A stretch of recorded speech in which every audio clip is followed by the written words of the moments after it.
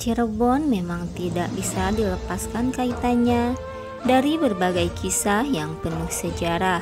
Salah satunya adalah tentang Nyimas Ratu Gandasari. Alkisah Nyimas Ratu Gandasari berasal dari Aceh, putri Mahdar Ibrahim bin Abdul Ghafur. Ia dibawa sejak kecil dan diangkat anak oleh Pangeran Cakrabuana. Namanya sendiri merupakan pemberian dari Sunan Gunung Jati. Nyimas Ratu Gandasari merupakan salah satu perempuan yang memiliki kesaktian, namun akhirnya dikalahkan oleh Syekh Magelung Sakti yang kemudian menjadi suaminya.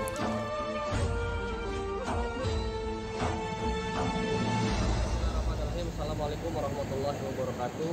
Sahabat muslim yang dirahmati Allah subhanahu wa ta'ala Pada pagi ini kita akan berziarah Makbarah situs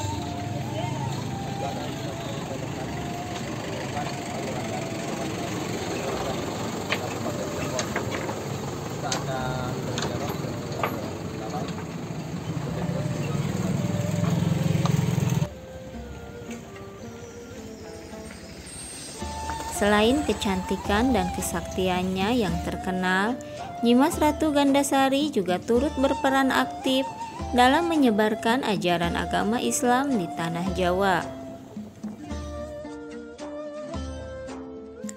Namun begitu, Babat Raja Galuh mengisahkan Nyimas Ratu Gandasari dalam hal yang berbeda.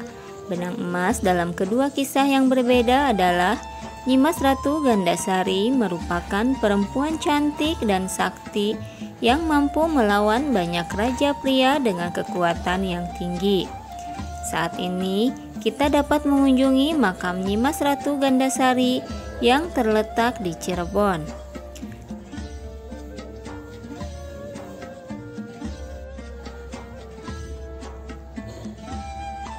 Nyimas Ratu Gandasari di kemudian hari menjadi terkenal karena dia merupakan panglima perang Kesultanan Cirebon dan menjadi satu-satunya kalangan wanita yang menjadi panglima peperangan.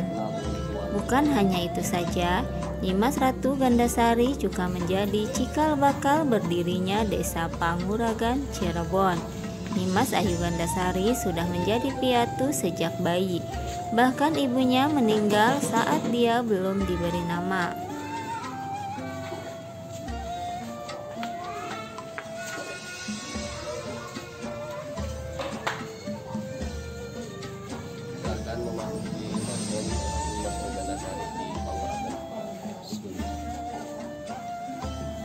Nyimas Ratu Ayu Gandasari juga dipercaya bernama asli Mutmainah atau Nyi Mutmainah, merupakan putri angkat Raja Caruban Larang Sri Mangana. Fisiknya memiliki tinggi melebihi rata-rata gadis Sunda kebanyakan. Dari ibunya, dia mewarisi darah Hindustan dan Mongolia. Leluhurnya adalah keturunan Genghis Khan, penakluk Hindustan dan pendiri dinasti Mogul. Sedang dari ayahnya mengalir darah Arab, Hindustan, Campa. Darah Campa berasal dari nenek sang ayah, seorang muslimah asal Campa yang tinggal di Malaka.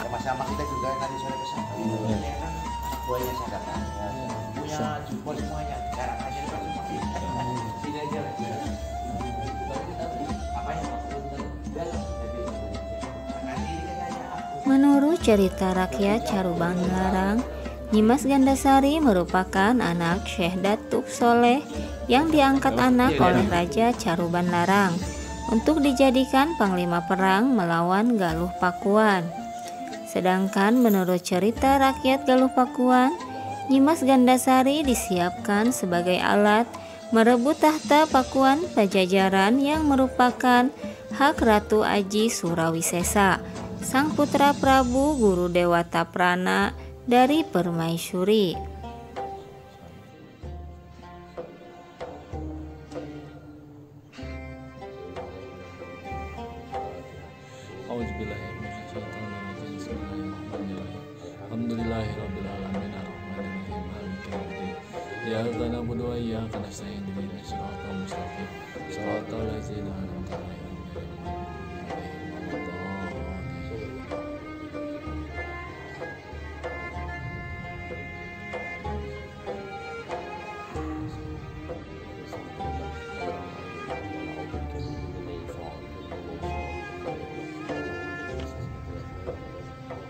Layaknya kisah prajurit Kelik Sandi yang sangat lihai, asal-usul Nyimas Gandasari masih terus menjadi misteri dan legenda.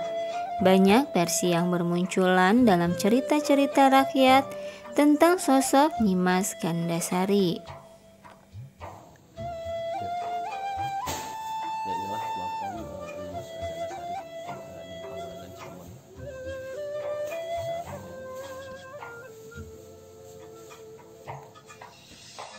Dilansir dari kesugengan kidul.desa.cireboncup.go.id, Nyimas Ratu Ayu Gandasari disebut berasal dari Aceh, adik dari Tubagus Pasai atau Fatahillah, putri dari Mahdar Ibrahim bin Abdul Ghafur bin Barkah Jainal Alim.